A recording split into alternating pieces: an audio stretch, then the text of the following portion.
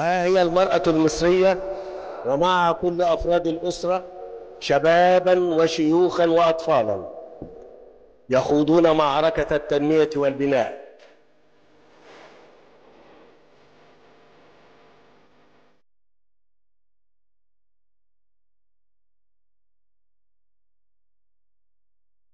جسد المرأة المصرية صوت ضمير الوطن فهي الأم والزوجة والأخت والابنة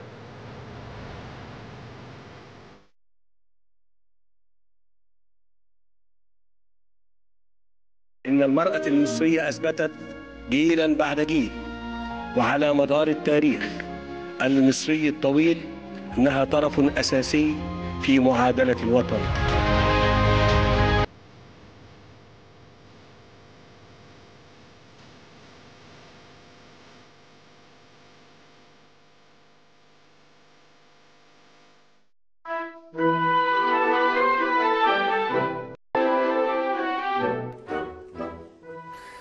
ونقول تاني. مساء الفل على حضراتكم مشاهدينا الكرام. أسعد الله مساء حضراتكم جميعا بكل الخير. حلقة جديدة من مساء دي إم سي.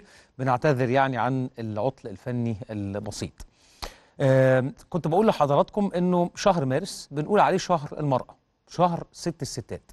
لأن في أكتر مناسبة الحقيقة خاصة بالمرأة سواء في مصر أو عالميا.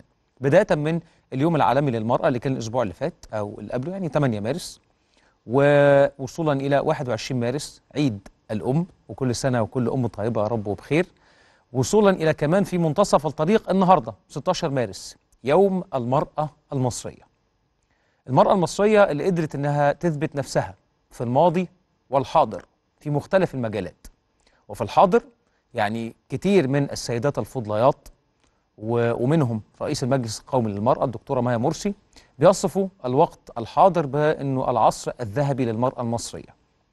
وبطبيعة الحال هو وصف دقيق لأنه لو جينا بصينا هدي لحضراتكم نبذة لأنه لو اتكلمنا عن ال- الأدلة كلها هنخلص الحلقة كلها عن يوم المرأة المصرية ورغم أنها تستحق. بس في عناوين سريعة لو جينا بصينا مثلا على سبيل المثال في الحكومة هتلاقوا أنه تقريبا 25% من الحقائب الوز- الوزارية آه، سيدات ثمان وزيرات في الحكومة المصرية. والحقيقة أنه تواجدهن هو تمثيل مشرف. ويحظى بتقدير كبير جدا. فقد أثبتنا الوزيرات المحترمات أنهن جديرات بالثقة بل ومكسب حقيقي للدولة المصرية. لو جينا بصينا على الحياة النيابية هنلاقي أنه عدد السيدات في المجالس النيابية حوالي 204 سيدة في البرلمان بغرفتيه النواب والشيوخ. وأثبتنا بالفعل أيضا أنهن جديرات بالثقة. آه وما يدلل على اهتمام الدولة المصرية بالمرأة مش بس أنه الدستور بينص على ذلك أو أن رؤية مصر 2030 فيها محاور عديدة تخص المرأة. إنما كمان التوجيهات الرئاسية بإطلاق مجموعة من المبادرات من أجل الحفاظ على صحة المرأة. منهم مبادرة صحة المرأة المصرية للتوعية والفحص واللي وصل تقريبا لحوالي 4 مليون آه، امرأة وبتستهدف أنها تصل إلى 28 مليون امرأة اللي هي هدفها الكشف آه، المبكر. والتوعية بشأن سرطان الثدي والأمراض غير المعدية. وهدف هذه المبادرة هو نشر الوعي والثقافة حول هذه الأمراض وضرورة وفائدة الكشف أو الاكتشاف المبكر.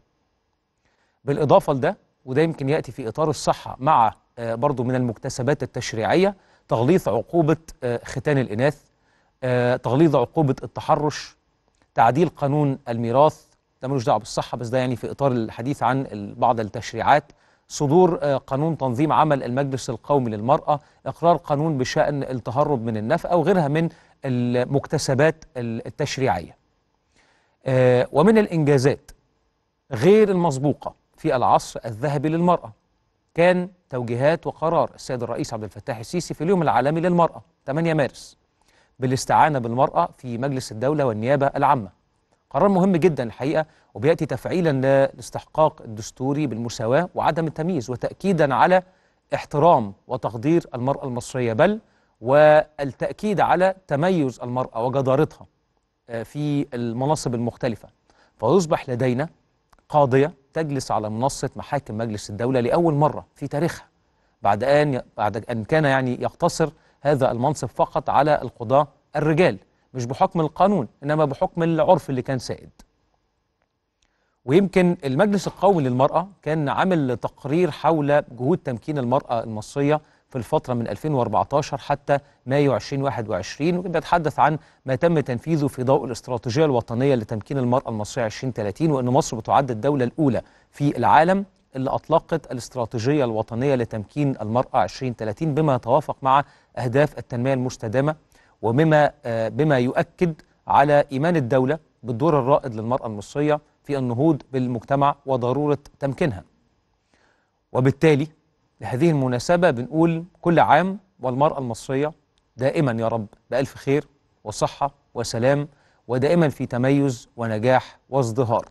يصب في مصلحتها ومن ثم في مصلحة المجتمع كله. وعلى ذكر المرأة المصرية خليني أقول لحضراتكم كمان أنه دكتورة مايا مرسي آه رئيس المجلس القومي للمرأة ورئيسة الوفد آه المصري في اجتماع مجموعة أصدقاء المساواة بين الجنسين اللي بيقام يعني هذا الاجتماع على هامش فعاليات الجلسة الافتتاحية للدورة 66 للجنة وضع المرأة بالأمم المتحدة.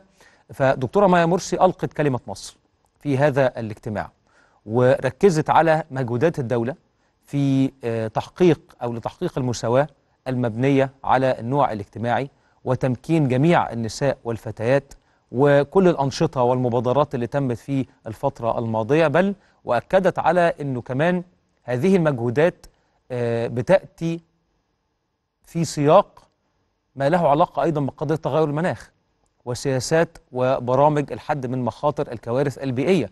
وأشارت أن الحكومة المصرية تبنت العديد من المبادرات والبرامج والمشروعات لتعزيز التكيف والتخفيف من أثار تغير المناخ مع مراعاة تمكين المرأة حيث تم آه، توعية النساء بالمبادرات الريفية والأساليب الزراعية الصديقة للبيئة وتنظيم مخيمات بيئية لتدريب السيدات على الانخراط في الصناعات الصديقة للبيئة وتم التوعية بالإدارة المستدامة للسيول وأطلقت مبادرة لتعريف النساء بأساليب الحد من انبعاثات آه، غازات الاحتباس الحراري وغيرها من الأنشطة الأخرى. فده برضو بمناسبة يعني اليوم آه، أو يوم المرأة المصرية. فمرة تانية كل عام وكل مرأة مصرية رب دائما بألف خير وسلام. آه، قبل ما نطلع حضراتكم على آخر وأهم الأخبار خلينا نشير إلى عيد الأربعاء. فقرتنا النهاردة إن شاء الله مع فضيلة الشيخ الدكتور أسامة الأزهري. أدعو حضراتكم لمتابعتها عشان نعرف ليلة النصف من شعبان. إيه اللي بيميزها؟ إيه أفضل الأعمال في هذه الليلة وفي يوم النصف من شعبان؟ كلام كتير الحقيقة هنتكلم فيه في هذا الأمر عشان يبقى مفيد لينا كلنا فأدعو حضراتكم لمتابعة هذه الفقرة النهارده بمشيئة الله. نتابع معا آخر وأهم الأخبار والأحداث اللي حصلت النهارده على الصعيد المحلي.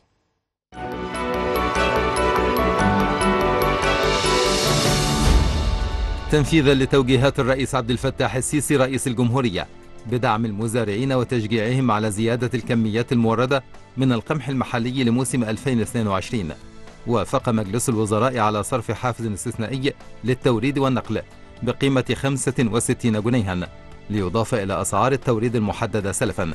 وبذلك تصبح إجمالي أسعار التوريد شاملة الحافز الاستثنائي. نفى المركز الإعلامي لمجلس الوزراء ما تردد من أنباء بشأن صدور قرار بتغيير قواعد تنسيق القبول بالكليات العلمية دون التقيد بنظام التشعيب الأدبي والعلمي في الثانوية العامة. صدق الفريق أول محمد زكي القائد العام للقوات المسلحة وزير الدفاع والإنتاج الحربي على الإعلان عن قبول دفعة جديدة من المجندين مرحلة يوليو 2022 أكد الدكتور علي المصلحي وزير التموين والتجارة الداخلية أنه تم طرح كراتين رمضان بالمجمعات الاستهلاكية بقيم مالية 52 95 و123 جنيها للكرتونة وأن كل فئة مالية من هذه الكرتونة تحتوي بداخلها على السلع الأساسية. أعلنت نيفين جاما وزيرة التجارة والصناعة أن الوزارة عدت قائمة ب 83 فرصة استثمارية مؤكدة لمنتجات صناعية يمكن البدء في تصنيعها محليا بدلا من استيرادها من الخارج. أعلنت وزارة الصحة والسكان فحص مليون وخمسمائة وستة وستين ألف وثمانمائة وخمسين طالبا ضمن مبادرة رئيس الجمهورية للكشف المبكر عن فيروس سي بين طلاب المدارس بالصف الأول الإعدادي تحت شعار 100 مليون صحة وذلك بالمجان للعام الرابع على التوالي منذ إطلاق المبادرة يوم الحادي والعشرين من نوفمبر الماضي وحتى الآن. يتوقع خبراء هيئة الأرصاد الجوية أن يشهد غدا الخميس ارتفاعا طفيفا في درجات الحرارة ليسود طقس معتدل نهارا على القاهرة الكبرى والوجه البحري مائلا للبرودة على السواحل الشمالية وشمال الوجه البحري ووسط سيناء ويكون دافئا على جنوب سيناء وسلاسل جبال البحر الأحمر معتدلا على شمال الصعيد مائلا للحرارة على جنوب الصعيد بينما يكون الطقس شديد البرودة ليلا على كافة الأنحاء.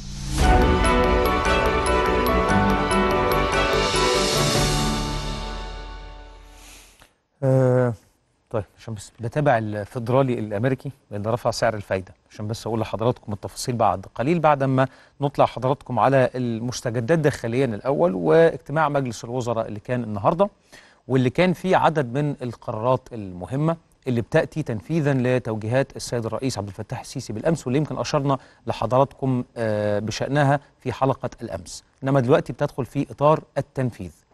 من ضمن هذه القرارات إنه آه الحكومة أعلنت لضبط الأسواق آه من ضمن هذه الإجراءات ما له علاقة بسعر رغيف الخبز الحر اللي هو مش مدعم. واللي السيد الرئيس قال يتم بحث آلية لتسعيره عشان الزيادة اللي حصلت الأيام اللي فاتت دي لا يتم السيطرة عليها.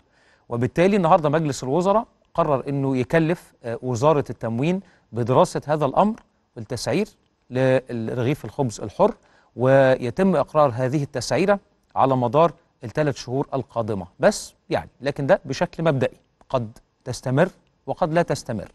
إنما ده من القرارات آه يعني النهارده هتدخل في طي التنفيذ. خلونا نفهم أكتر برضو مزيد من التفاصيل في هذا الإطار.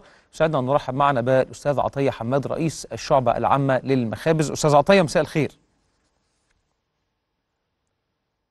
أستاذ عطية؟ طيب واضح إن في مشكلة في الاتصال. نحاول إن إحنا نعاد الاتصال بالاستاذ عطية مرة أخرى.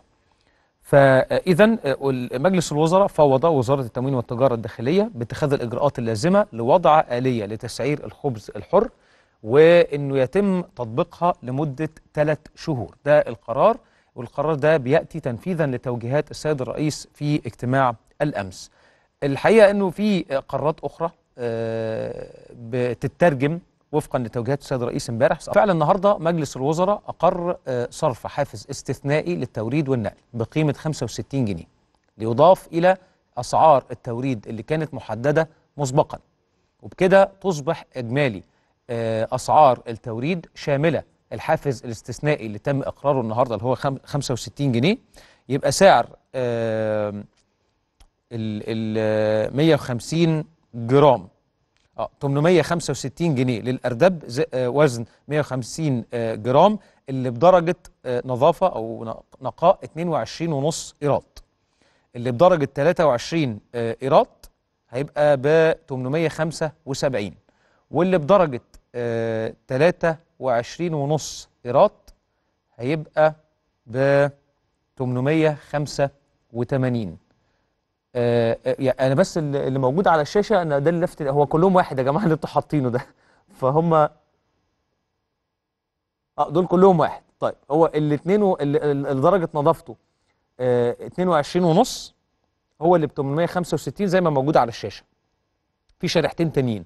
درجة النقاء أو النظافة 23 قيراط ده هيبقى ب 875 جنيه واللي درجة نظافته 23 ونص هيبقى ب آه 23 ونص إيراد هيبقى ب 885 جنيه. آه، أتمنى إن شاء الله إن ده يكون حافز طيب للمزارعين لتوريد كميات أكبر بإذن الله من آه، القمح في موسم التوريد القادم.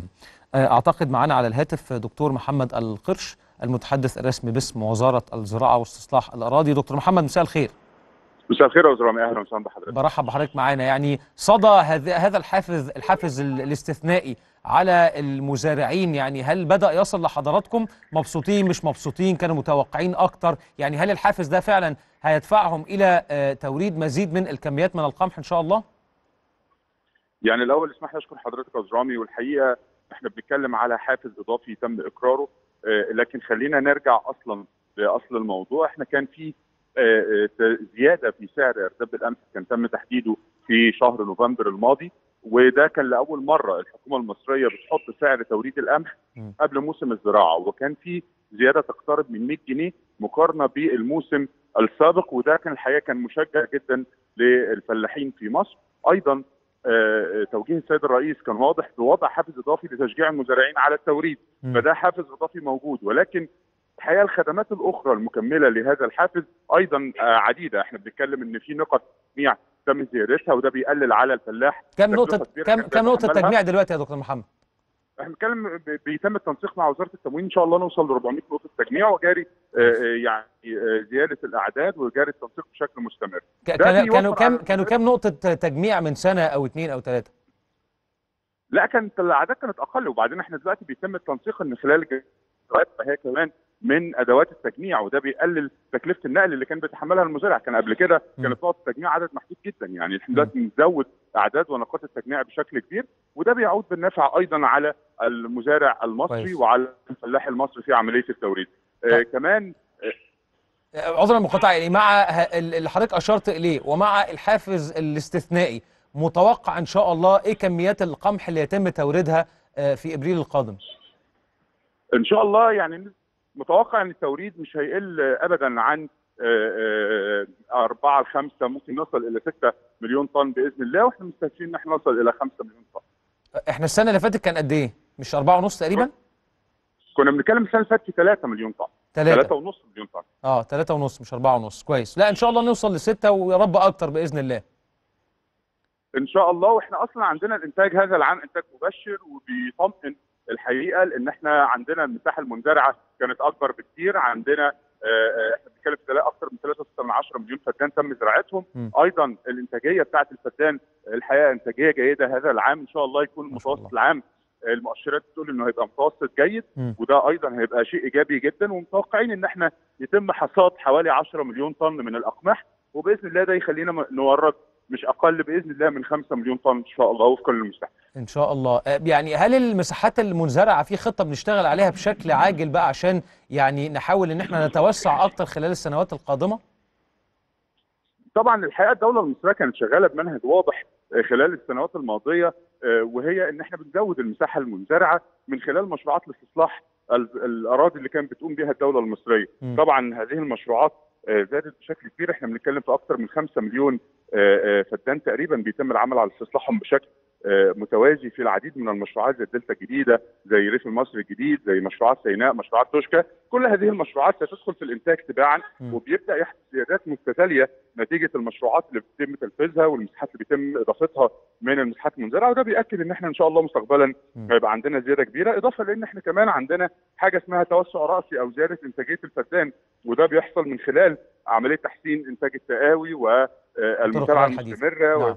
وتوفير تطوير نظم الري والنظم الزراعيه الحديثة وده أيضا بيزود إنتاجية الفدان وده بيحسن من دخل المزارع.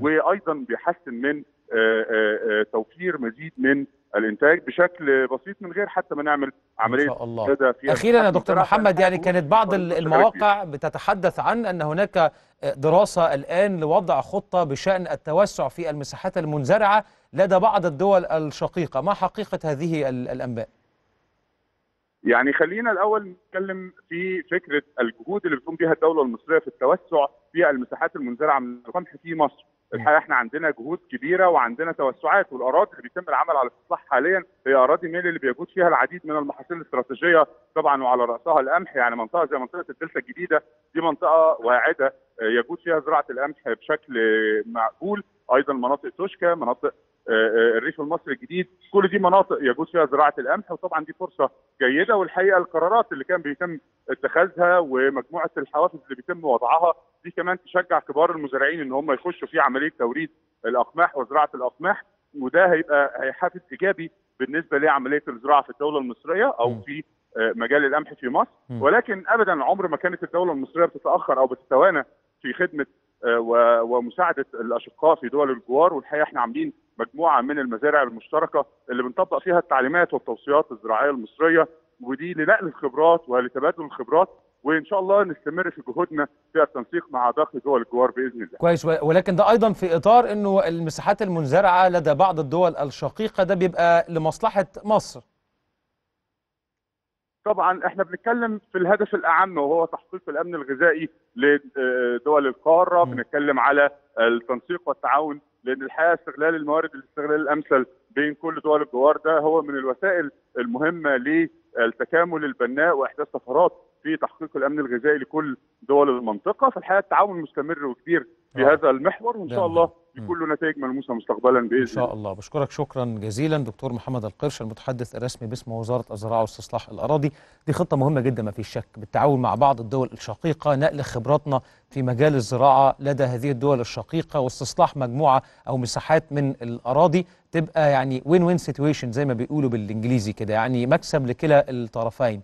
وده مهم ليه؟ لأنه بطبيعة الحال يعني لسه حتى الجهاز المركزي للتعبئة العامة والإحصاء كان نشر تقرير بيتكلم فيه على إنه إحنا في حدود كام؟ 21 يوم تقريبا ولا حاجة كده زدنا 87000 نسمة.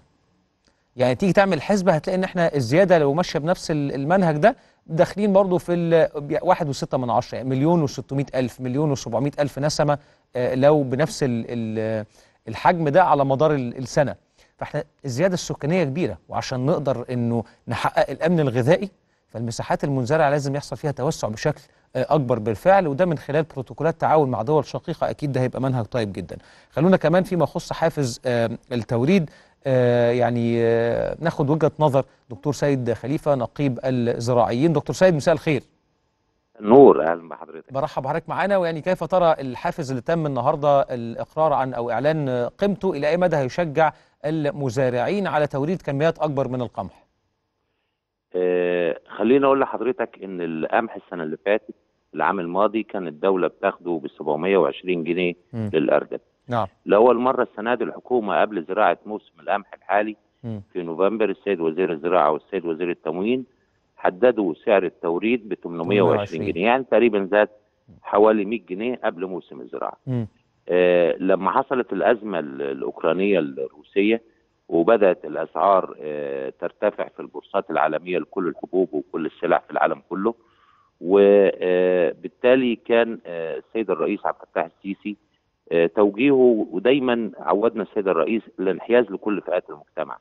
أهالينا الفلاحين المصريين المواطنين العظماء الزارعين قمح السنة دي 3.6 من عشر مليون فدان أزيد من العام الماضي بحوالي 250 ألف فدان. وبالتالي الأسعار العالمية لما ترتفع وتكاليف شحنها وتكاليف نقلها زادت وبالتالي كان بعض أهالينا الفلاحين بيطالبوا بزيادة سعر توريد أرداب القمح نتيجة إن الأسعار العالمية زادت تقريبا 48% خلال الثلاث أسابيع الماضية بالنسبة لسعر القمح. وبالتالي الحافز اللي تم إقراره ده يعني مشجع بالنسبة لهم؟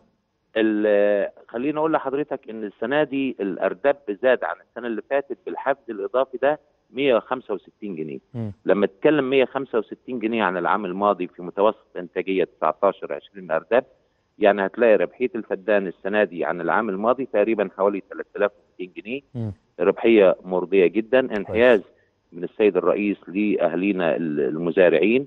وبالتالي يحقق نوع من الارتياح كبير جدا لدى المزارعين. م. الحقيقة الدولة مش القرار ده بس إنما خدت حزمة ثانية من الإجراءات المتعلقه بالقمح. إن موسم التوريد كان عادة يبتدي في نص إبريل لغاية نص يوليو. السنة دي الحكومة خدت قرار من يومين السيد وزير التموين والمالية والزراعة وقالوا إن موسم توريد القمح يبدأ من 1 إبريل. مم. ليه من 1 إبريل؟ لأن إحنا عندنا محافظات الصعيد درجات حرارة عالية. وبالتالي بيكون التفكير في النضج الحصاد بيبدأ قبل الدلتا وشمال الدلتا. وبالتالي تستفيد من كل قمح هيتم حصاده كويس أوي. اعتبارا من 1 آه، من 1 إبريل كويس من ضمن ويعني القرارات إن, إن حضرتك برضو بتقول. إنه الحمد لله هذا الحافز اللي تم إقراره مرضي جدا للمزارعين ده كان أهم شيء الأمانة. مرضي جدا. لأن أنا اديت حضرتك مقارنة الأرقام يعني نعم، السنة نعم. اللي فاتت كان ب 720 السنة دي زاد 165 165 جنيه. جنيه. صحيح. لما تضرب 165 جنيه همتهم بقى يوردوا كل الإنتاج إن شاء الله. هو ال- الحكومة من ضمن قراراتها النهارده إنه هيورد تلتين الإنتاجية اللي موجودة عنده. كحد أدنى يعني. يعني النهارده هيورد على كل فدان مزروع. مم. لو قلنا الفدان بدي 18 أردب مطلوب منه هيورد 12 أردب للحكومة. وبرضه هنا من خلال حضرتك المشاركة المجتمعية. دي ظروف استثنائية بيمر بها العالم كله وإحنا طبعا مصر بنمر بيها. وبالتالي لابد أهالينا الفلاحين يوردوا يعني أكبر, أكبر قدر ممكن صحيح. لأن دي إحنا محتاجينها والكم والقمح ده تاني برضو لازم أهالينا يعرفوا إنه بيرجع لهم تاني في صورة خبز مدعم. يعني الحكومة مش باخده تاخده سلعة لأ ده هي بتاخده وبترجعه تاني في صورة رغيف خبز مدعم لكل المصريين. صحيح. كلنا علينا مشاركة مجتمعية بحيث إن إحنا وبالتالي لما يوردوا أكبر قدر من ال- الكميات ده هيعود عليهم أيضا بالنفع. بشكرك طبعا يا دكتور سيد على هذا التوضيح. دكتور سيد خليفة نقيب الزراعيين يعني سعيد جدا بأن حضرتك بتأكد لنا ان هذا الحافز الإضافي الحمد لله مرضي جدا ب- ل- ل- لكل أهلنا المزارعين والفلاحين. وننتظر بإذن الله توريد كميات كبيرة من القمح في موسم في الموسم إن شاء الله اللي هو في مطلع إبريل القادم. كنت كلمت حضراتكم امبارح عن فكرة رائعة عاملاها وزارة التموين على إنه الناس اللي اعتادت وربنا يزيد عدد اللي بيعتاد هذه العادة الطيبة إنهم بيعملوا شنط رمضان عشان يقدروا يوزعوها على آه، أكبر قدر ممكن من الناس اللي حواليهم اللي بيحاولوا يدعموهم أو يساعدوهم بشكل آه، أو بآخر. آه، وزارة التموين قالت بدل ما أنت تعمل شنطة رمضان وتحط فيها أو أنت اللي بتنتقي السلع اللي هتبقى فيها. ويمكن بعض الناس ما تبقاش محتاجاها في فكرة تانية كوبونات كوبون آه، قيمة 20 جنيه أو 50 جنيه أو 100 جنيه بتشتريه تديه لصاحب يعني ال ال لا أو الشخص اللي عايز كنت تديله شنطة رمضان وهو بياخد الكوبون ده ويروح ياخد السلع الغذائية اللي هو عايزها. حبينا نعرف أكتر تفاصيل هذا الأمر وبالتالي هنتابع التفاصيل في التقرير التالي.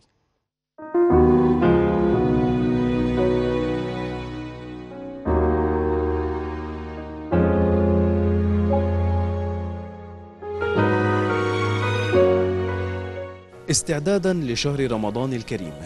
طرحت وزارة التموين والتجارة الداخلية أكثر من ألف سلعة من السلع الأساسية والمنتجات الرمضانية بتخفيضات تصل إلى 30% بالإضافة إلى توافر اللحوم الطازجة والمجمدة بأسعار تقل عن 45% عن الأسعار في الأسواق الخارجية. أسعارنا تم تخفيضها من 25 إلى 30% بالنسبة لأسعار السوق. السلع التموينية القائمة كلها 27 صرف متاحة وموجودة باستمرار ولم يحدث أي تعديل في أي أسعار بل بالعكس بال- حافظنا على الأسعار الموجوده كانت تعليمات معالي الوزير إن إحنا طبعا نضخ كميات كبيرة جدا من السلع والحمد لله عندنا أرصدة تكفي ثلاث شهور بخلاف ما يتم ضخه من شركات الإنتاج حاليا. هذه السلع متوفرة في 1300 مجمع استهلاكي و200 معرض من معارض أهلا رمضان بالإضافة إلى 500 منفذ جمعيتي و100 سيارة متنقلة وذلك بالتعاون مع الاتحاد العام للغرف التجارية. الأمر اللي عايزين نأكد عليه مرة أخرى إن ال- الآلية بتاعه المعارض تعتبر واحدة من الآليات اللي بتلاقي دايما إقبال المواطنين عليها. أضفنا داخل المجمعات الاستهلاكية خدمتين مهمين جدا. الخدمة الأولى طرح الكوبونات اللي خاصة بالسلع الأساسية أو الرمضانية بالإضافة إلى كراتين آه، شهر رمضان أيضا داخل المجمعات الاستهلاكية. النهارده أعلن معالي الوزير إن هي متوفرة بثلاث فئات. تقدم داخل هذه المنافذ عروضا لكرتونة رمضان بفئات مختلفة إضافة إلى كوبون رمضان الخيرية الذي يقوم المواطنون بشرائه لتقديمه لمن يستحق من المحتاجين. الكوبونات دي بتتراوح فئاتها بين 50 جنيه و100 جنيه و200 جنيه والكوبونات ديت بتصرف آه، عن طريق الشركة العامة آه، والكوبونات دي تعتبر حاجة راقية في التعامل الآدمي مع الناس. بدل ما اديله كرتونة فيها سلع ممكن ما يكونش محتاجها فبيجي يتقدم بموجب الكوبون ده يستل... يشتري بيها جميع السلع اللي هو بيحتاجها المواطن مباشرة. طب ما تنزل انت في النوافذ دي كلها 25% أو 30% في السلع. ما أكيد اللي بره هينزل غصب عنه. بصراحة أسعار حلوة ناس ملتزمة جدا بأمانة ربنا والله العظيم. الأسعار كويسة آه، الحاجة نظيفة آه، أحسن من بره هو ده بيجيبني هنا. هذه السلع متوفرة طوال العام وبخاصة خلال شهر رمضان الكريم كدعم من الدولة للمواطنين ومنعا لاحتكار السلع الأساسية في الأسواق. توافر السلع بكميات كبيرة وبأسعار مخفضة داخل المنافذ التابعة للحكومة يساعد على ضبط الأسواق الخارجية ويفوت الفرصة على التجار المستغلين للأزمات لتحقيق أرباح على حساب الجمهور. محمد عبيد مساء تي سي.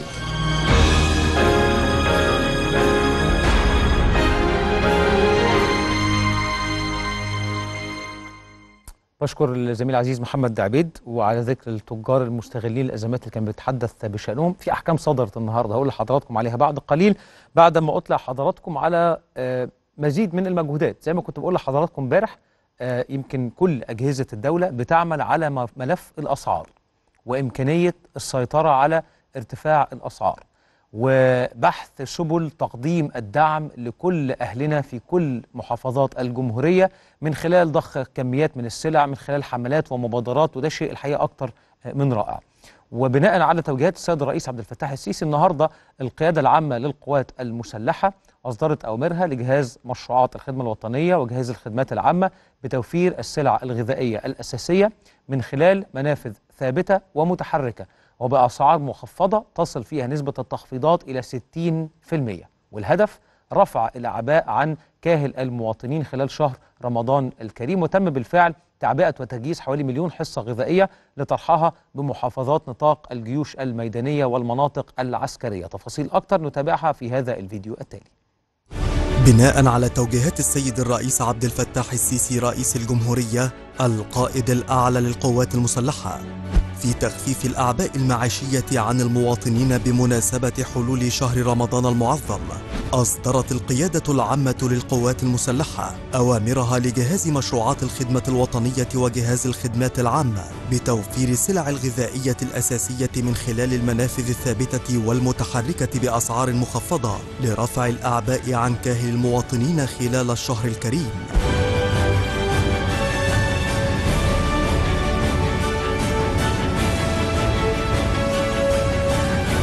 كما قامت هيئة الإمداد والتموين للقوات المسلحة بتعبئة وتجهيز مليون حصة غذائية لطرحها بنسبة خصم تصل إلى 60% بمحافظات نطاق الجيوش الميدانية والمناطق العسكرية.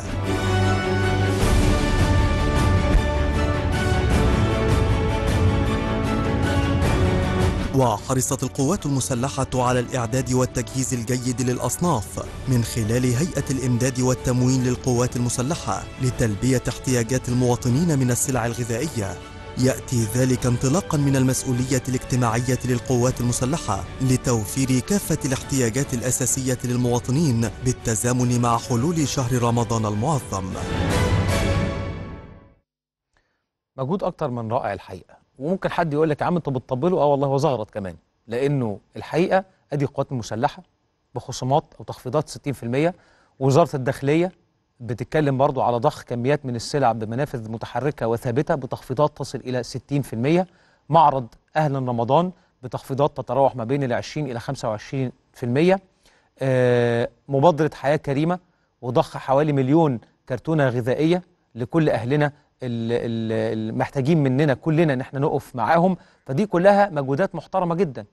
إلى جانب ده ده هدفه ضبط السوق وضخ كميات ومساعدة أهلنا اللي كنا بنتكلم امبارح على الشرائح إن محدودي الدخل محتاجين الدعم من الدولة. ده إطار دعم. في إطار تاني هو الإطار الرقابي وده المهم. وعلى هذا ال- المحور الحقيقة هتلاقوا إنه وزارة الداخلية في حملات مستمرة بشكل يومي. آخر 24 ساعة تم ضبط 1308 آه، قضية تموينية بمضبوطات بعدد أو كميات تصل إلى أكثر من 5000 طن مواد غذائية ومواد بناء. آه، في مجال حجب السلع يعني اللي بيخزن وما إلى ذلك آه، تم ضبط أكثر من 101 طن سلع غذائية. في مجال الاستيلاء على السلع المدعومة اللي بياخد السلع المدعومة عشان عايز ينزلها يبيعها فيكسب أكتر تم ضبط ما يزيد عن 26 طن دقيق مدعم. في مجال البيع بأسعار أزيد من الأسعار الطبيعية والعادلة اللي المفروض تكون موجودة تم ضبط ما يزيد عن 1000 آه، لا 133 طن. آه، بالنسبة لمواد البناء وحجب مواد البناء تم ضبط 80 طن حديد تسليح. طيب دي مضبوطات أو ضبطيات حصلت. ماذا عن الأحكام القضائية وفقا للقانون؟ هنلاقي إنه ما بعد الضبط يحال الأمر إلى النيابة العامة للتحقيق. فبعد ما الداخلية قامت بمهمتها بتقوم النيابة العامة بمهمتها في التحقيق. من أسبوع تقريبا صدر بيان مهم للنيابة العامة وأمرت وقتها بحبس 12 متهم لارتكابهم ارتكابهم جرائم تموينية بسبب رفع أسعار تخزين السلع وما إلى ذلك.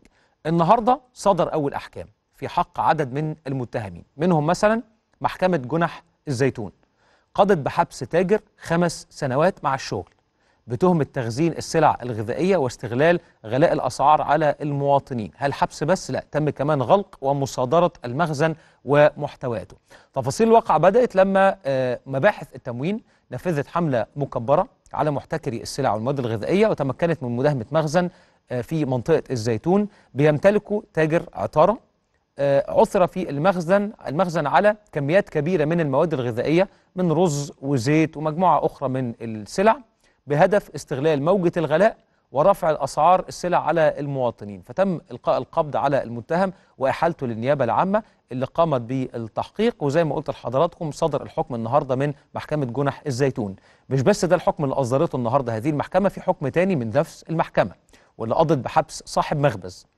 قضت بحبس آه، بحبسه 10 سنوات مع الشغل. بتهمة تخزين 25 طن دقيق. وتبين من التحريات والتحقيقات إن المتهم لم يطرح الكمية المضبوطة للمواطنين واستغل ارتفاع الأسعار عشان يخزن وبعدين يحاول يبيع الكميات دي في السوق السوداء. اذا كده حضراتكم شايفين ال- ال- ال- الموضوع مكتمل إزاي؟ من حيث ضخ كميات من المواد الغذائية بأسعار آه، مخفضة ومن الناحية الثانية ضبط السوق. ومنع أي شخص تسول له نفسه إنه يخزن السلع عشان عايز يستغل ارتفاع الأسعار في إنه يضغط على المواطنين زي ما حضراتكم شايفين الداخليه بتقوم بدورها وزارة التموين بتقوم بدورها جهاز حماية المستهلك بيقوم بدوره ثم النيابة العامة بتحقق ثم تصدر الأحكام زي ما شفنا النهارده. فاصل مشاهدينا الكرام ونستكمل معا بعد الفاصل اخر وأهم الأخبار فأرجوكم ابقوا معنا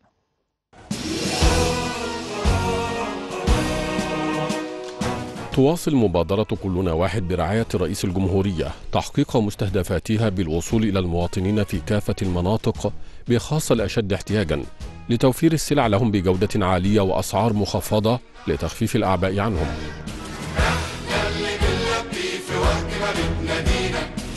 لو تحتاجينا بتلاقينا دايما هنا وشعب المرحلة الثانية والعشرون من المبادرة التي أطلقتها وزارة الداخلية بمناسبة حلول شهر رمضان المبارك تحركت قوافلها للمواطنين بالميادين والشوارع ليستفيدوا من التخفيضات في توفير متطلباتهم واحتياجاتهم من السلع الأساسية. هنا أرخص من بره. بصراحة ربنا الرئيس بيعمل حاجة حلوة. الله يبارك له. والله مبادرة جميلة من سيادة الرئيس. والله يجزيه عنا خير. والله يبارك له. حاسس بينا وبالشعب. ويا ريته يكتر من الحاجات دي في جميع المناطق المجاورة لينا بالذات خاصة إحنا هنا في الفلاحين. بنحتاج حاجات كتير زي كده. الأسعار كويسة والله جدا ورخيصة جدا. يا ريت كده على طول. بعيد عن جشع الناس والله يعني. يا ريت كده على طول والله. الرئيس الله يبارك له بجد يعني آه، خفض الحاجة جدا يعني زي ما كانت الأول يعني. الحاجات بأسعار زي ما كانت من شهرين ثلاثة نفس السعر يعني الحاجة رخيصة جدا. من ضمن السلاسل التجارية المشاركة في المبادرة يوجد منها الكثير في الأحياء ذات الطابع الشعبي لذا تمثل تلك المبادرة أهمية كبيرة للمواطنين بها وهو ما يعكسه الإقبال الكبير على السلع الاستراتيجية في إطار المبادرة في ظل تخفيضات تصل نسبتها إلى 60% مبادرة كويسة جدا وبنشكر آه، سيادة الرئيس. والأسعار كلها حلوة ورخيصة. الأسعار كده دي كويسة لينا وبنستناها على طول وبنستنى التخفيضات دي دايما وبنستنى المعرض على طول. آه بيبقى في فرق في الأسعار. امبارح جايبين حاجة بسعر والنهاردة في سعر. في فرق في الأسعار جامد. من امبارح للنهاردة إن إحنا بنجيب حاجة من بره. بتفرق معانا في البيت الأسعار دي طبعا الأسعار غالية فهي بتفرق معانا في البيت. كل حاجة فيها كويسة. إحنا ما بنعرف إن في مبادره من وزارة الداخلية ومن الرئاسة بنيجي نجري عشان بتفرق معانا كتير قوي قوي قوي في الأسعار. فبأمانة يعني بنشكر وزارة الداخلية والريس على اللي هو بيعمله معانا. وحرصت الوزارة بالاتفاق مع كبار التجار والموردين على إقامة شوادر ومنافذ في أماكن محددة تم اختيارها بعناية لضمان استفادة شريحة كبيرة من المواطنين بها من كافة الفئات بخاصة الأشد احتياجا وهو ما يؤكد استراتيجية الوزارة في انتهاجها كافة السبل للوصول إلى المواطنين وتخفيف الأعباء عنهم.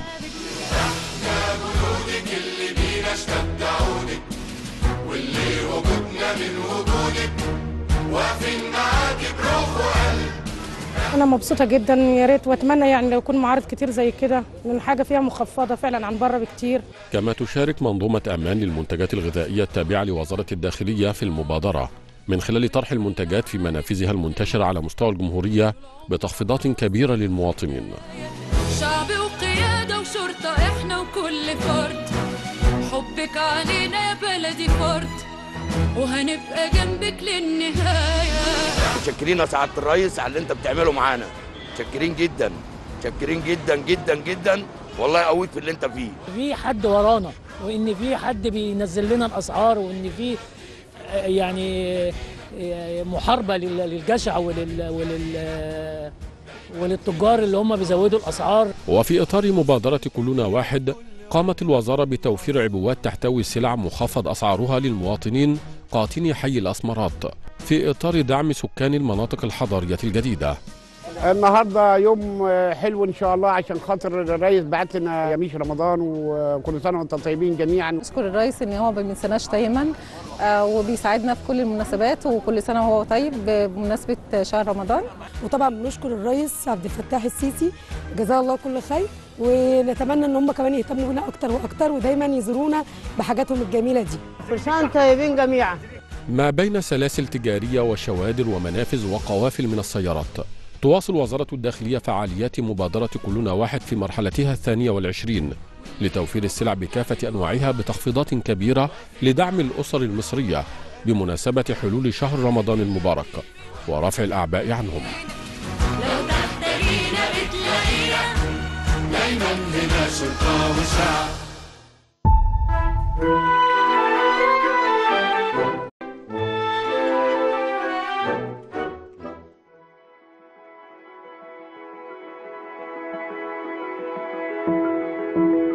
بينما كانت تعمل الدكتورة مروى الشاعر الأستاذة بالمركز القومي للبحوث على علاج لمواجهة الخلايا السرطانية التي تهاجم أعضاء الإنسان المختلفة اكتشفت أن المرض الخبيث قد تسلل خفية إلى جسدها ولأنها لا تعرف الاستسلام فحولت الأمر إلى حرب بينها وبين هذا المرض وأبت إلا أن تكون هي المنتصرة عليه.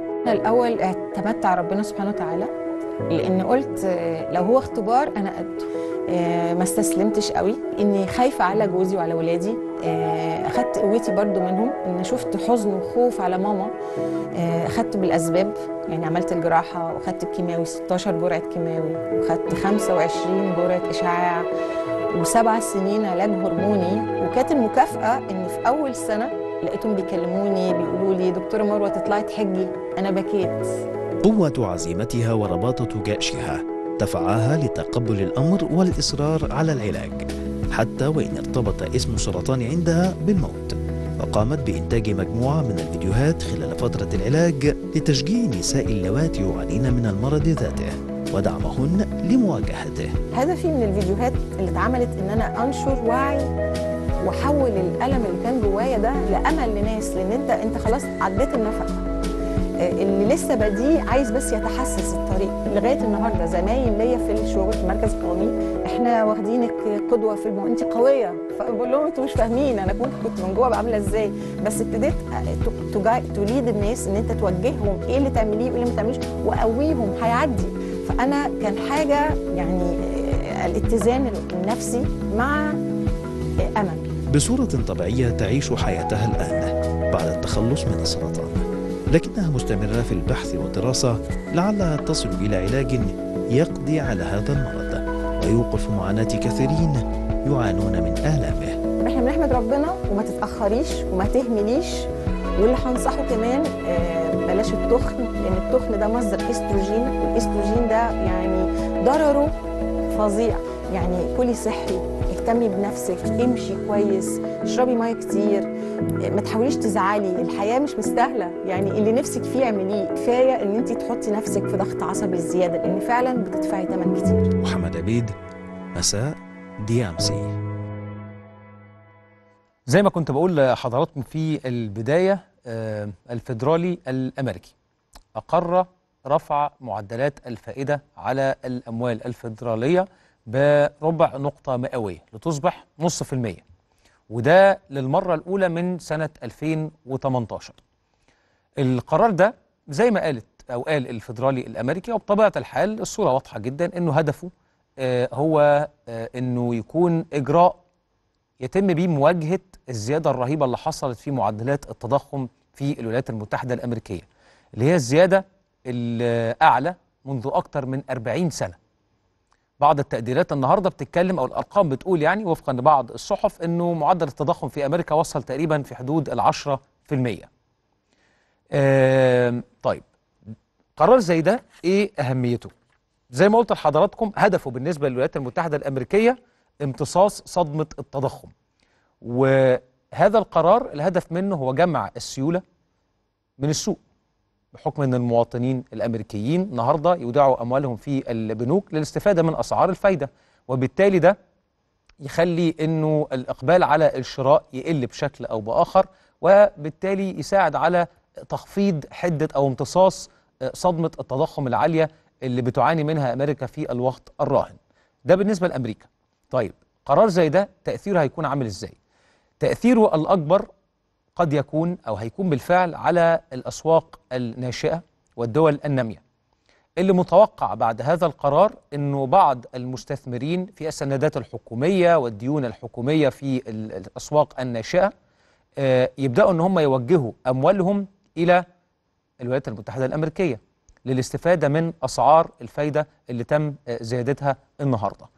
آه، مفيش شك إن دول كتير آه، أو تقديرات كتير من اقتصاديين حول العالم وأقوى البنوك كانوا شايفين هذه الزيادة. كانت متوقعة من الفيدرالي الأمريكي. وبالتالي مصر على سبيل المثال كدولة ناشئة ودولة نامية آه، قرار زي ده ممكن يأثر لكن الحقيقة إنه الموضوع أخذ في الاعتبار وفقا للتقديرات اللي كانت موجودة وبالمناسبة التقديرات حاليا في أمريكا بتقول إنه دي قد لا تكون الزيادة الوحيدة أو الرفع الوحيد لأسعار الفايدة. كل الخبراء الاقتصاد في أمريكا النهارده بيقولوا إن معدلات التضخم هتفضل عالية في أمريكا لحد نهاية السنة على الأقل. يمكن تتقلص بعض الشيء إنما هتفضل عالية. وبالتالي بتوقعوا إن ممكن يكون في زيادة أخرى أو رفع آخر لأسعار الفائدة من الفيدرالي الأمريكي على مدار هذا العام. آه زي ما قلت لحضراتكم الأسواق الناشئة هتتأثر آه ممكن نفكر إنه طيب مثلا لو بنتكلم على مصر طب ما نرفع سعر الفايدة عشان نجابه بيه. الموضوع هنا الحسبة لازم تبقى فيها بعض التعقيدات لأنك لازم تحط في الاعتبار إنك تعمل توازن ما بين إنك ترفع سعر الفايدة آه، بالمناسبة كمان القرار بتاع الفيدرالي الأمريكي ده بيتوقع المحللين الاقتصاديين برضو ان هيكون ليه تأثير على آه، قيمة الدولار أمام سلة العملات ال- ال- المختلفة إنه هيرتفع قدام كل العملات الأخرى. ده برضو توقع من التوقعات اللي موجودة. فبقول لحضراتكم الحسبة بتبقى معقدة بعض الشيء لأنك لازم تفكر في آه لو رفعت سعر الفايدة في مصر انت لازم تبص على حركة السوق عاملة إزاي حركة الاستثمارات عاملة إزاي كل الحاجات دي بتتأثر وبالتالي لازم تبقى محطوطة في المعادلة عشان تاخد القرار الصحيح. زي ما حضراتكم عارفين إنه لجنة السياسة النقدية في مصر بتجتمع آه، نهاية كل شهر آخر خميس من كل شهر لكن بيبقى في بعض الاجتماعات وفقا للظروف الاستثنائية. ده ظرف استثنائي قد يستدعي إنه منتصف هذا الشهر يتم يعني منتصف الشهر النهارده إيه 16 لا يمكن يعني خلال الأسبوع اللي جاي قد ينعقد هذا الاجتماع أو قد يتم الانتظار إلى آخر خميس من هذا الشهر لاتخاذ قرار بشأن أسعار الفائدة ولو أنه من قبل هذا القرار بعض التوقعات برضه محليا أنه يمكن يحصل زيادة في أسعار الفائده. من عالم الاقتصاد نروح إلى عالم الفن وبنتابع مع حضراتكم آه، ماراثون رمضان والمسلسلات إن شاء الله اللي هتستمتعوا بيها معانا على شاشة دي ام سي من بين هذه المسلسلات مسلسل راجعين يا هوا. اللي بيقوم ببطولته النجوم خالد النبوي نور وفاء عامر هنا شيحة أحمد بدير أستاذ أحمد بدير طبعا آه، أنوشكا. والعمل مأخوذ من أو عن مسلسل المسلسل الإذاعي القديم للكاتب الكبير أستاذ أسامة أنور عكاشة. آه، يسعدنا إن إحنا نرحب معانا بفريدة. فراجعين يا هوى. النجمة هنا شيحة معانا على الهاتف. يا هنا مساء الخير. عامل إيه؟ الحمد لله. أنت إيه الأخبار؟ طمنيني. آه، لله. يعني بنشتغل على قدم وساق. آه، إيه أخبار فاضل كتير؟ هنا. رمضان. واضح. لا استني بس كل اللي فات ده ما سمعناهوش. واضح إن ال network يعني ممكن نقف بس في حتة ال network فيها يكون أحسن. سامعني كده؟ يعني أحسن شوية نجرب. يلا قولي. آه، على قدم وساق. التصوير لسه مستمر طبعا ويعني غالبا هنصور في رمضان. آه، جزء آه، مش هين بس آه، الشغل آه، لا واض- واضح إن لو انت في اللوكيشن فالشبكة هناك مش ولا بد. هنا يا هنا. كنا عايزين نعرف حاجة عن فريدة طيب. للأسف. الشبكة مش مساعدة. طيب نحاول مرة تانية نحاول مرة تانية. نحاول مرة تانية آه بس خلينا ناخدكم لعالم الرياضة بقى.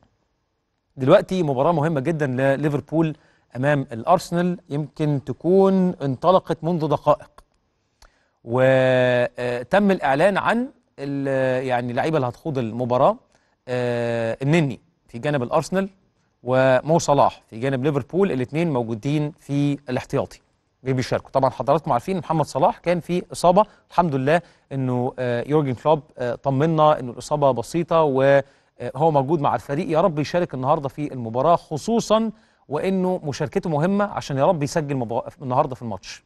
ولو هدف واحد لإنه مو صلاح لو هز شباك المدفعجية النهارده بهدف واحد هيدخل قائمة أفضل 20 هداف في تاريخ الدوري الإنجليزي.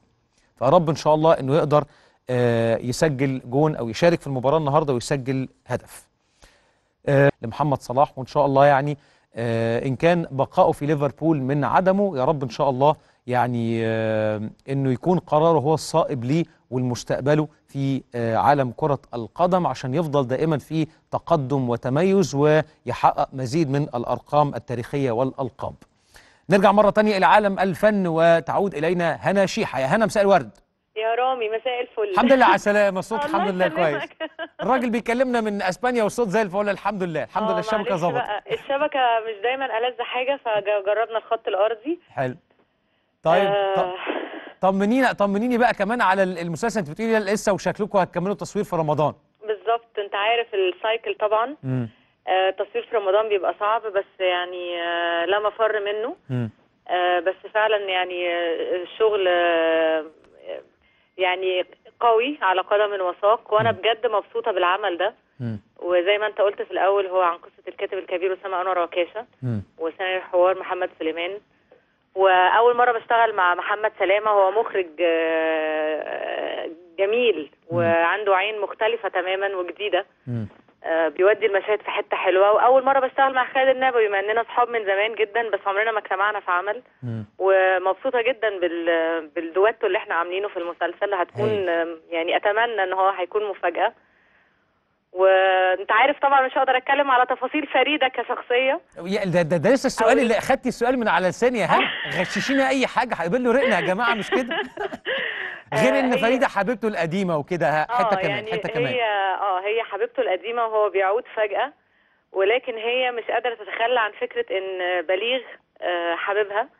وبيفضلوا بقى يلعبوا آه، قط وفار طول ال- الحدوتة لحد ما بنشوف هيحصل إيه في الآخر مم. حلو كده غششتك حلو يعني ما- ما- ما خرج- ما خرجناش عن النص اهو مظبوط برضه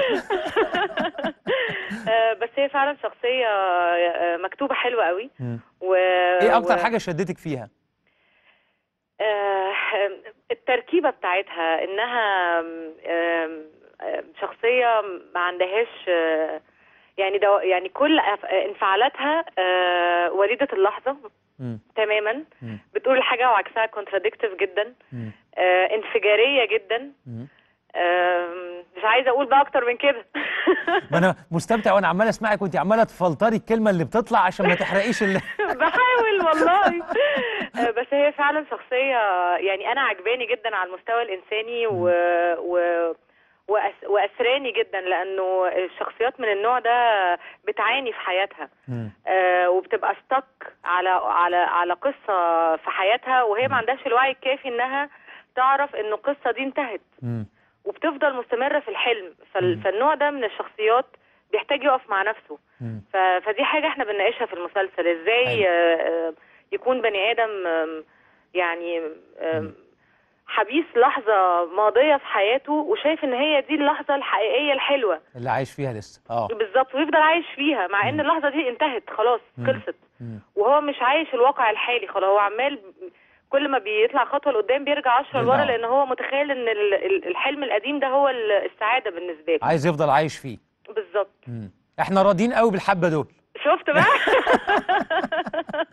زي الفل ما شاء الله. ربنا يوفقكم ويشدوا حيلكم إن شاء الله. يا يا رب. كده. ما تصوروش كتير في رمضان عشان تستمتعوا كمان بالشهر الكريم. وأنا عارف إنه إزاي الموضوع بيبقى ضغط كبير جدا للتصوير في رمضان بس أنتوا أيوة. قدها قدود وبإذن الله ما تطولوش في التصوير في رمضان. يا رب يا رب. دعواتك يا رامي إن شاء الله. ربنا معاك. ربنا معاك وكلنا واثقين. إن شاء الله هنستمتع يعني بشخصية فريدة وبالمسلسل كله. يا رب. إن شاء الله. إن شاء الله. جدا ربنا يوفقك. يا هنا ميرسي ليك. بشكرك. شكرا جزيلا. إن شاء الله من الأعمال المتميزة اللي يعني أنا واثق إن كلنا هنستمتع بيها بمشيئة الله. نطلع لفاصل مشاهدينا الكرام وبعد الفاصل. فضيلة الشيخ الدكتور أسامة الأزهري وعيد الأربعاء فأرجوكم ابقوا معنا.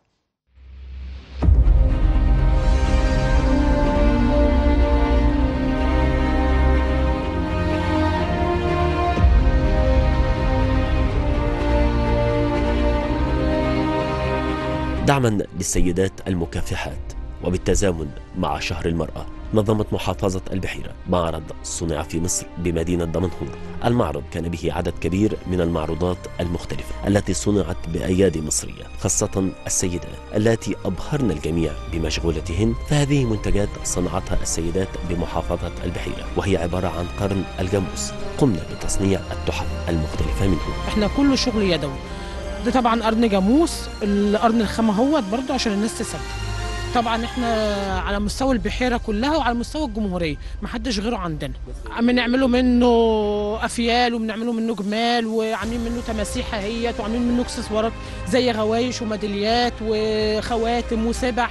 السيدة أمل هي الأخرى. قررت أن تزيد من دخلها وتستغل وقت الفراغ في منزلها. هي وجيرانها فقاموا بتصنيع منتجات الألبان بشكل مختلف وراقي.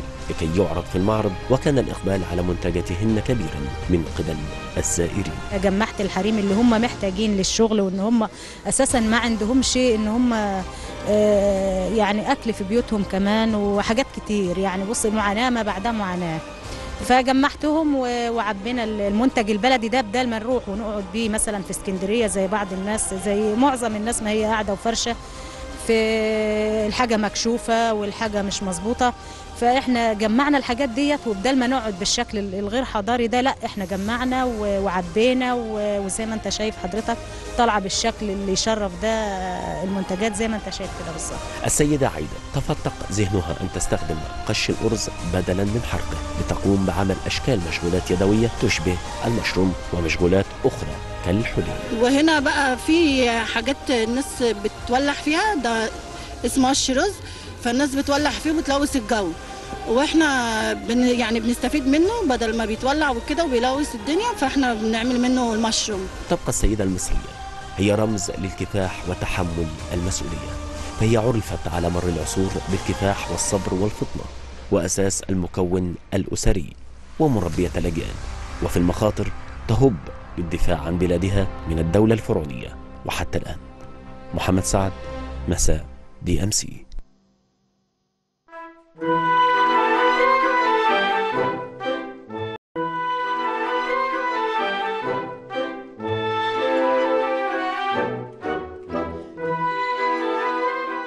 برحب بحضراتكم مرة تانية مشاهدينا الكرام في عيد الأربعاء.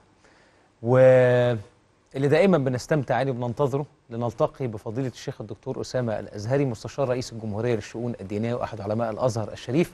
برحب بفضيلتك معانا. ربنا يخليك وحشتنا وافتقدناك الأسبوع اللي فات. وحضرتك والله جدا جدا. ربنا يخليك. وكل سنة وحضرتك طيب؟ كل سنة وحضرتك يعني بألف بمناسبة. آه، ليلة النصف من شعبان وخلاص رمضان على على الأبواب. خلاص كل سنة وحضرتك بألف خير. والساده ال- المشاهدين الكرام والحمد لله على السلامة ويعني بالقبول يا رب دايما يا رب يا رب إن شاء الله ليلة النصف من شعبان إن شاء الله اللي هي يعني من مغرب الخميس بكرة بإذن الله حتى فجر, فجر الجمعة, الجمعة.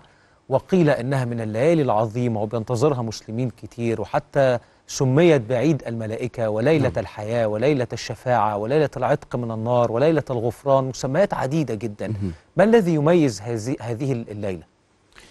طيب آه، بسم الله الرحمن الرحيم. آه، ليلة النصف من شعبان آه، لها فضل عظيم بلا شك وسميت بالأسماء الكثيرة اللي سيادتك تفضلت وأوردتها. ومن أهم أسمائها عيد الملائكة لما ورد في بعض الآثار إنه ملائكة الرحمن لهما لهم عيدان زي ما إحنا لنا عيد الفطر وعيد الأضحى. فليلة النصف من شعبان وليلة القدر تعتبر هاتين الليلتين العيدين المعظمين عند الملائكة من من أعجب فضائل ليلة النصف من شعبان أنها ليلة يتجلى الله تعالى فيها على العباد ويطلع على عباده فيغفر لعباده جميعا إلا المشاحن وقاطع الرحم ودول هنعلق عليهم بعد شوية نعم. يطلع الله على عباده جميعا يعني تعرض أعمال العباد على الله جل جلاله فبدأوا العلماء يقولوا عرض أعمال العباد على الله بيحصل في كل يوم وبيحصل في كل أسبوع وبيحصل في كل سنة نعم. العرض اليومي لأعمال العباد على الله ورد فيه الحديث في الصحيحين قال عليه الصلاة والسلام يتعاقبون فيكم ملائكة بالليل وملائكة بالنهار ثم يعرجون إلى ربهم فيقول الله تعالى للملائكة كيف تركتم عبادي؟ فيقولون تركناهم وهم يصلون وأتيناهم وهم يصلون. إذا هناك عرض يومي لأعمال العباد على المولى جل جلاله بحسب تعاقب ال- الملائكة كما ورد. آه ثم كأنه حصاد الأسبوع يجمع ويعرض على الله تعالى مرة أخرى الخميس من كل أسبوع كما ورد في الحديث في مسند أحمد أنه عليه الصلاة والسلام قال إن الله تعالى تعرض الأعمال على الله تعالى يوم الخميس ليلة الجمعة من كل أسبوع. ثم يأتي حصاد السنة بالكامل.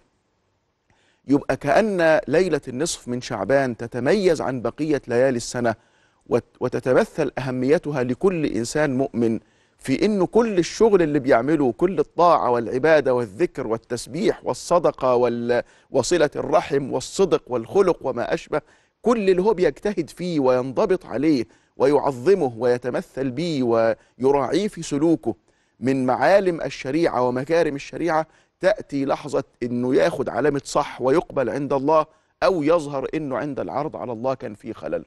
فده حضرتك ليلة له- لهذا السبب كانت ليلة شديدة الأهمية وشديدة العظمة. أضف إلى ذلك أنه التجلي الإلهي بال- بالمغفرة على العباد جميعا في هذه الليلة ده ما بيحصلش إلا في ليالي معدودة. يعني بيحصل في ليلة القدر بيحصل في الليلة دي ليلة النصف من شعبان بيحصل في يوم عرفة يتجلى الله على أهل الموقف ويغفر الله تعالى لكل لكل من أناب إليه ولجأ إليه. إذا هي أحد الليالي المعدودة من ليالي الدهر التي تشهد حدثا سماويا عظيما وتشهد تجليا إلهيا خاصا وتشهد عرضا لأعمال العباد كما لو كنا في موقف المحكمة وجاء وقت انعقاد المحكمة لإصدار الحكم في قضية معروضة فهي ليلة تأهب وليلة ضراعة وليلة دعاء وليلة تبتل وليلة تضرع إلى الله بالقبول أن, أن يكلل أعمال كل السنة بالقبول عند الله جل جلاله. ولأجل هذا آه، استقر العمل عند علماء المسلمين على تعظيم هذه الليلة وإحيائها. ومن أوائل من سبقوا إلى إحيائها كان عدد من السادة التابعين تلامذة الصحابة مباشرة من فقهاء الشام. وكانوا في هذه الليلة يرتدون أفضل ما عندهم من الثياب ويغتسلون ويجتهدون طوال الليلة في الطاعة والعبادة والذكر. ويتطيبون بأفضل الطيب الموجود عندهم. ثم إذا ما أسفرت الليلة عن إشراق الفجر يصومون اليوم ال- التالي لها اللي هو يبقى يبقى يوم 15 من من شعبان. نعم, نعم. هنتحدث عن آه، ال- الصيام. وفضل نعم. إيه أفضل الأعمال؟ لكن زي ما فضلتك تفضلت إنه في هذه الليلة ربنا سبحانه وتعالى بيغفر لعباده. نعم. يعني ايا كانت الذنوب والسيئات أيا التي. ارتكبتها نعم. على مدار العام الماضي ربنا نعم. سبحانه وتعالى بيغفرها. تغفر في الحال. نعم. إلا الاثنين إلا الاثنين أو ثلاثة بقى. ثلاثة فضلتك تفضلت بالمشاحن وقاطع الرحم. وقاطع الرحم والمشرك. والمشرك. نعم. المشرك خلاص معروف. إن الله لا يغفر أن يشرك به ويغفر ما دون ذلك لمن يشاء. بس يبقى معانا الإشكال الكبير والمعترك اللي إحنا هنخوضه آه. مع القاطع الرحم ومع المشاحن. المشاحن. ومن أهم أهدافنا النهاردة إن إحنا نوجه النداء لكل من يسمعنا الآن من المشاهدين الكرام إنه خلاص ده بكرة إحنا النهاردة الأربع بكرة ال- الخميس بالليل المغرب الخميس بكرة يبقى ده ليلة النصف من شعبان آه. ففاضل معانا أقل من 24 ساعة بنقول لكل السادة المشاهدين الكرام إذا فتشت في قلبك ووجدت إنه فيه أدنى أدنى ذرة من المشاحنة أو الخصومة أو القطيعة أو الكبر على الناس أو التعالي عليهم أو الصدود عن الأقارب أو قطع الرحم يبقى احذر حذر كبير جدا. لأن أمثال هذه المعاني القلبية الظلمانية القبيحة تجعلك دون بقية الخلق محروما من المغفرة في يوم عيد وفي يوم بهجة وفي يوم فرح وفي يوم تجلي وفي يوم غفران. لما الإنسان يجي يوم العيد أي عيد عيد الأضحى أو عيد الفطر ويلاقي الناس كلها طالعة وبتفرح وهو لسبب ما وحده قاعد في البيت محبوس في البيت. ده بيبقى قاسي قوي على شعور الإنسان. هكذا شأن الإنسان الذي تأتي عليه ليلة النصف من شعبان وي- ويتبقى في قلبه حاجة من الشحناء أو من قطيعة الرحم. يعني إيه الشحناء؟ يعني لسه في قلبه شيء من الكراهية أو الغل أو الحقد أو الصدود أو الانتقاص أو التهجم على الناس. فبنقول لكل المشاهدين الكرام يعني بسرعة وخلال أقل من 24 ساعة ارجع اقعد مع نفسك نص ساعة ساعة في الليل في النهار. النهاردة دلوقتي بعد شوية بعد الفجر في نهار الخميس بكرة. وحاول إنك أنت تطيب خاطرك وتصفي نفسك تجاه الخلق جميعا. لا تدع في فؤادك يعني مقدار ذرة من المشاحنة وال- والخصومة مع الناس. دي حاجة. يعني عذرا المقاطعه عشان يعني ما نمرش منها ونستوضحها. يعني هنا لو أنا زعلان من حد آه متخانق مع حد مقاطع حد آه عندي مشاعر غل تجاه صح، حد أو صح. حقد تجاه حد صح كل ده لازم أنقي نفسي منه لازم بس في بعض الأحيان أنا ممكن أكون شايف إنه يعني أو مش شايف نفسي إن أنا عندي غل تجاه حد أو بحقد على حد يبقى سيادتك في مثل هذه الحالة الواحد يقول يا رب أنت شهيد على أنه في قدر ما وعيت وفي قدر ما أنا متذكر ومستوعب ومدرك الآن أنه ما فيش في قلبي غل. وإذا كان في خاطري يعني غل وشحناء تجاه حد بس هو بعيد عن بالي الآن أشهدك يا رب إن أنا قد صفحت وغفرت له. جميل. دي حاجة. الحاجة التانية الإنسان أحيانا يشعر أنه أنا في قلبي ضيق شديد وشحناء من إنسان نتيجة انه هو اللي متحامل عليا وهو جاي عليا قوي وآكل حقي ولذلك أنا مغلول منه ومتضايق منه وقلبي يتميز غيظا منه. أعمل إيه في مثل هذه الحالة؟ يبقى حينئذ أن تشهد الله على إنه إن كان لهذا الإنسان حق عليك إنك صفحت عن هذا الحق. وما لك عنده من حق انه ربنا يذلل القلب لك وأن يلهمه الله أن أن يرد ال- الحق إليك وأن يطيب خاطرك. وأنه يصلح الحال وأن يزيل الخصومة يبقى إذا ما تجعلش ال- ال- حالة الاحتقان اللي موجودة في النفس تجاه إنسان بمانع من صفاء القلب تجاهه حتى وإن كان هو الذي جار عليك واجعلها ليلة ضراعة إلى الله يل أن, أن يلهم الله كل أصحاب الحقوق عليك أن يصفحوا عنك وأن ينزل الله على قلبك الصفح عن كل من لك حق عليه. فمثل هذا الأدب الباطني ومثل هذا المعنى الرجاء من كل المشاهدين الكرام أنه ما يستسهلوش هذا الأمر وما يعدهوش بالسهل لأنه صعب أنه, إنه, إنه يبقى اليوم يعني شمل الله الخلق بالغفران وأنت اللي تحول بينك وبين المغفرة عشان أنت مش قادر على نفسك. عشان عندك شوية مشاعر مش أيوة، قادر مش تتجاوزها قادر على نفسك يعني ومش قادر انك تضيع ليله زي دي ربنا هياخد فيها كل ما سبق بشوية مشاعر علشان طيبة. مشاعر سلبية موجودة في في النفس. مم. يعني آه، تعالى على نفسك. اغلب نفسك. ما تخليش نفسك تغلبك خصوصا في هذا الموسم العظيم من مواسم الخير. وده يا حبيبنا أيضا ينطبق على الشخص اللي ممكن يكون بيكيد لغيره شيء ما. نعم. آه، مخطط إنه والله لا أختي مش هديها الميراث. مخطط إنه لا ده أنا بنتي هعمل فيها كذا وهجوزها بالعافية. كل من يكيد لمن حوله آه، قرايبه أو أصدقائه برضو دي مشاعر تعتبر من اللي بينطبق على لفظ ال- المشاحن. ده لو سمحت لي هيدخل في الصورتين في الاثنين آه. ده على كده مشاحن وقطع رحم معا الاثنين مع بعض في وقت واحد. لأنه يعني قد تكون الشحناء بيني وبين إنسان ليس بيني وبينه رحم ولا قرابة ولا صلة. زميل في العمل حد م- من الجيران وما أشبه. إنما لما كمان يحدث نفسه بأنه يمنع واحدة من الميراث أو يجور على حق حد من الأقارب. لا ينشأ هذا إلا من معنى قلبي سلبي في قلبه. يبقى وجدت الشحناء وتوجهت تجاه صاحب رحم. يبقى تورط في أنه حجب نفسه بحجابين عن الرحمة مش بحجاب واحد. ده بيزود الظلمات التي يضع نفسه فيها. ولذلك ما زلنا نوجه ال- ال- النداء ونقول للمشاهدين الكرام جميعا يا جماعة اجعلوا اليوم القادم من الآن إلى زي دلوقتي بكرة وإلى فجر الجمعة. اجعلوا هذا اليوم ال 24 ساعة دي سارعوا فيها بكل ما تملكوا. إلى امتلاء القلوب بال- بالرضا وبالصفح وبالمغفرة وبالمسامحة. يعني خلوا قلوبكم لينة خلوا القلوب هينة شوية. أزيلوا كل المعاني السلبية من الكراهية والحقد والشحناء والخصومة والقطيعة من من القلوب. خلوا اليوم ده يوم تغلبوا فيه نفوسكم شوية. تعال على نفسك شوية وسامح. واصفح عن الناس علشان ربنا يلهم كل من له حق إنه يصفح عنك أيضا في المقابل. إياك أن يأتي عليك المغرب بتاع بكرة ويكون قد بقي في نفسك بقايا مستخبية هنا أو هنا في ثنايا القلب من الشحناء أو القطيعة للناس لو فضلتك تسمح لي في هنا نقطتين قول لي إنه الناس تعمل كده وتخلص النوايا بمعنى إنه ما يعديش ال 24 ساعة يقول أنا خلاص ما فيش حاجة ويجي يوم الجمعة ولا السبت يرجع. مدبر اللي كان عايز لا، يعمله إحنا كده ما عملناش حاجة ده بعد البعد التاني هستغل الظروف ال- الراهنه. ده ينطبق. على اللي ممكن يكون بيكيد إنه عايز يخزن البضائع عشان يستفيد من ارتفاع الأسعار فيبيعها بسعر أعلى للمواطنين هل ينطبق عليهم أي آه، توصيف من هذه التوصيفات؟ أنا أحيي حضرتك على هذه اللمحة لأنه لأنه ده من واجب الوقت.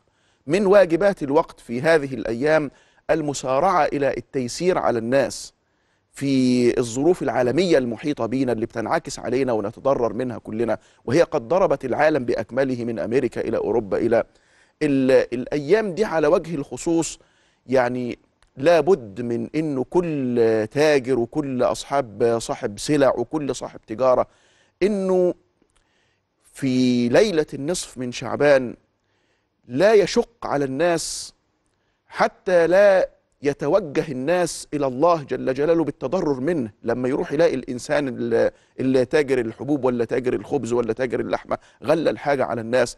انت كده بتحرك مشاعر الناس ضدك وتح- وتحرك دعوات الناس ضدك ولذلك يدخل بلا شك ضمن هذا. بنقول له يسر على الناس بنقول له يعني آه، إياك أن تحتكر ال- السلع إياك أنك ترفع الأسعار على الناس وتشق عليهم. فبلا شك من من من حسن استغلال ليلة نصف من شعبان توجيه الدعوة إلى كل إنسان يبرز للناس ويتصدى للناس في المعاملات في البيع والشراء والسلع ال- الأساسية يعني املأوا قلوب ال- العباد يسرا في هذه الأيام واملأوا قلوب العباد سماحة ولطفا في هذه الأيام ال- نعم. المعظمة. و- ومفيش شك إنه اللي يعني هيسر على الناس في هذه الأيام ربنا هيقول يعني أنت هتبقى أحن على العباد مني فربنا هيسر عليه أكتر. رحم الله رجلا سمحا إذا باع سمحا إذا اشترى سمحا إذا اقتضى. وكان سيدنا عثمان بن عفان في القصة المشهورة جاءته تجارة في وقت غلاء وارتفاع للأسعار. نعم. وجاءه تجار المدينة يقولوا له إنه آه، آه، هنشتري البضاعة اللي جات لك وهندي لك الضعف. آه قال لهم لا لسه في حد عارض عليا حاجة أكتر من كده. قالوا له ما إحنا إحنا تجار المدينة أهو مفيش تجار تاني في المدينة غيرنا أهو. طب خد ضعفين أو ثلاثة أو أربعة. قال لهم لا في حد عرض عليها عشرة. عشر أضعاف المبلغ اللي أنا خليته رأس مال لل- للبضاعة دي. قالوا له يا مولانا الجليل إزاي؟ ما هو ما فيش تجار قال لهم ربنا ربنا سيعطيني على كل دينار أو درهم عشر أضعاف والحسنة بعشر أمثالها أشهدكم أني قد تصدقت بها على أهل المدينة. الله. يعني مش هبيعها لكم حتى بمثل سعرها ولا أقبل أنه تزود لي فيها درهم زيادة. ده أنا جعلتها كل التجارة الهائلة اللي أنت شايفها دي هأخرجها صدقة للناس في وقت العسر والجهد والشدة. أم ربنا يجعل التجارات القادمة والربح القادم عظيم جدا ومبارك فيه جدا وأضعاف مضاعفة كتيرة جدا. الإنسان بعيد النظر يعمل كده. الإنسان اللي اللي ال الذي لم تعم عينه ال- اللحظة العاجلة والكسب العاجل ثم بعد ذلك تكر عليه بال بال بإنه خس- خسر ربنا قبل أن يخسر العباد نعم. فهي دعوة للتيسير على الكل بلا شك طيب هنتحدث عن الص- الصيام وأفضل الأعمال لكن آه، إلى جانب المشاحن وقطع صلة الرحم نعم. وهنا بس قطع صلة الرحم معناها آه، انقطاع دائم ولا انقطاع لحظي حتى يعني لو في حد من أقاربي ما سألتش عليه بقالي شوية. هل ده يحسب من آه، اللي بينطبق عليهم قطع صلة الرحم؟ أيوه. أيوه يحسب. آه، قرب لكل الناس. ماشي. مفهوم. أيوه يحسب. و...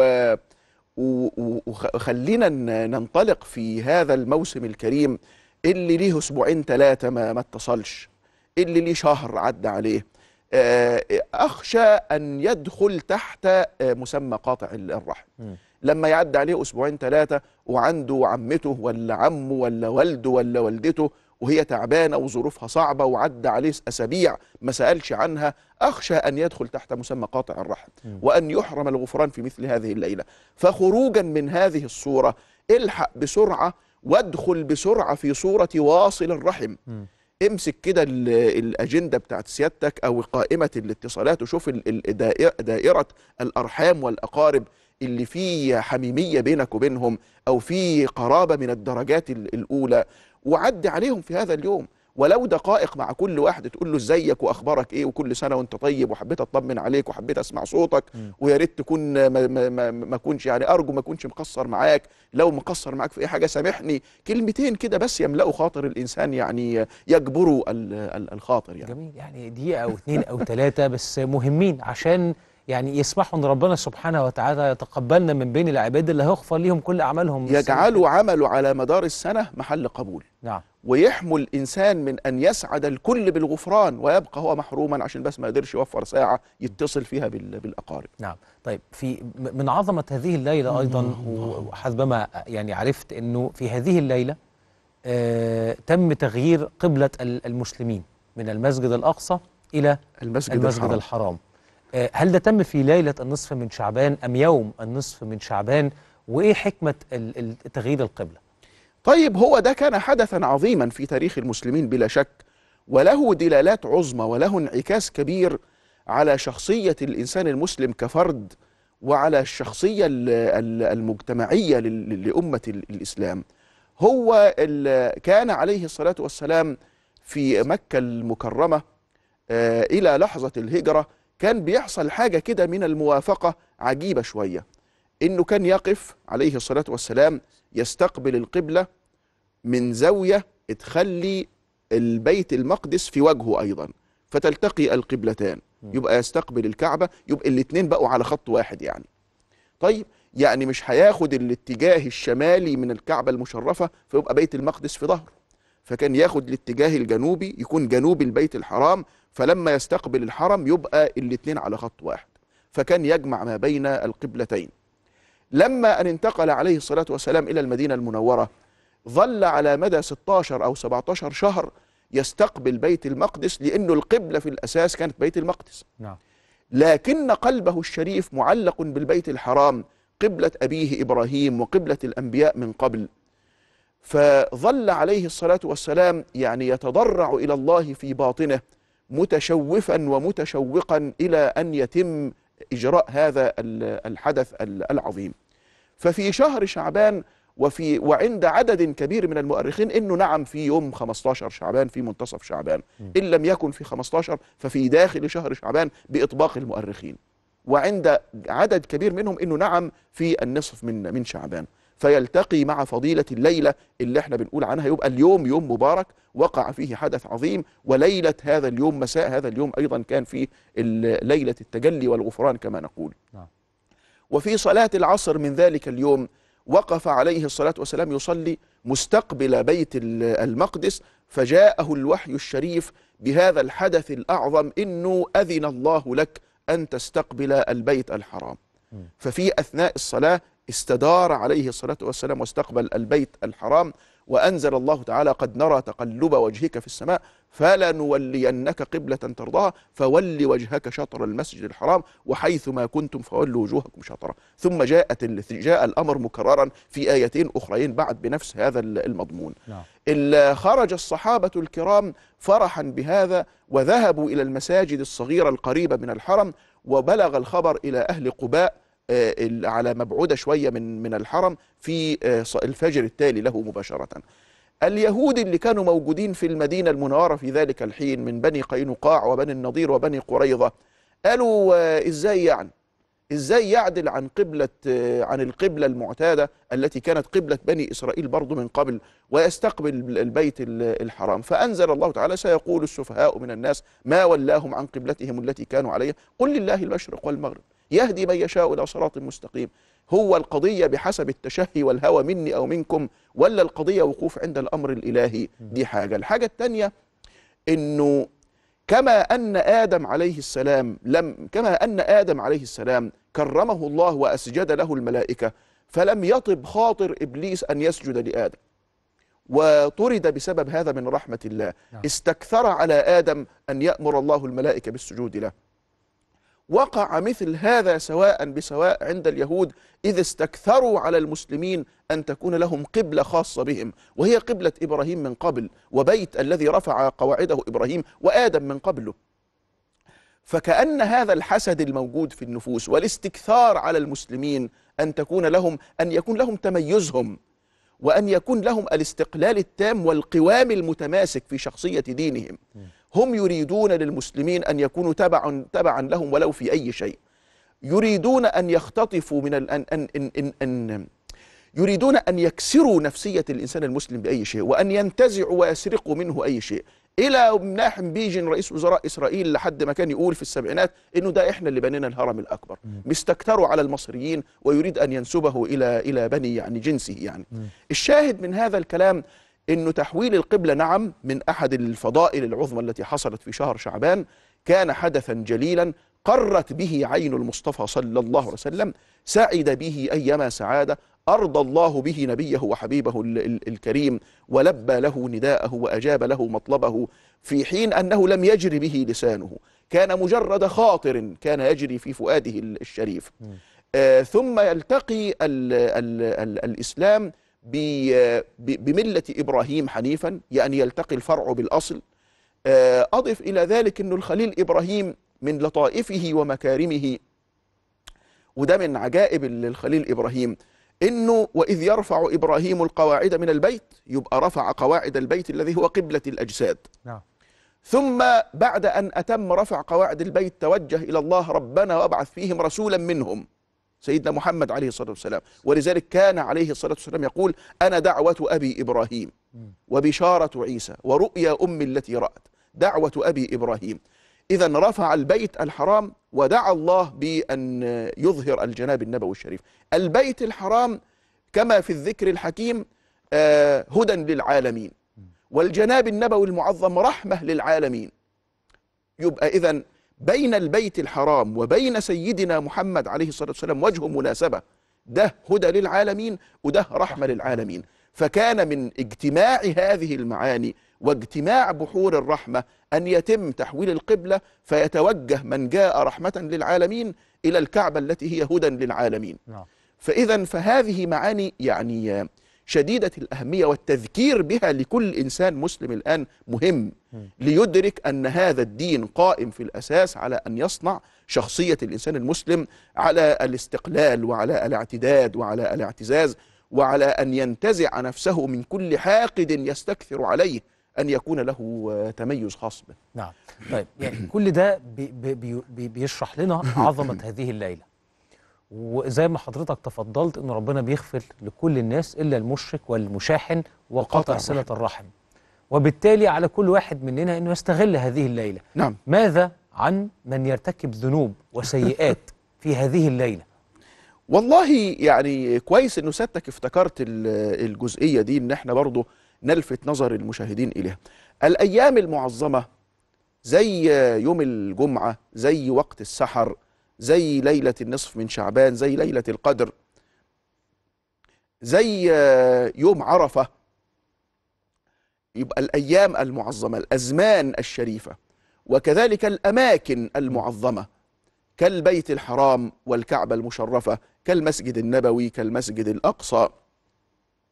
الأزمان المعظمة والأماكن المعظمة تضاعف فيها الحسنة وتضاعف فيها السيئة. لأن الحرمة فيها أشد وأكمل ولأن عوامل احترامها أكمل وأشد توقيرا وتعظيما. يعني دواعي تعظيمها أكمل وأكبر. زي ما كنا بنقول من شوية فرق ما بين إن إنه الإنسان يسيء لأي إنسان وده عند الله عظيم ما هو بالعين وأن تكون الإساءة كمان لقاطع رحم. ده كده بيزود الإثم على على نفسه.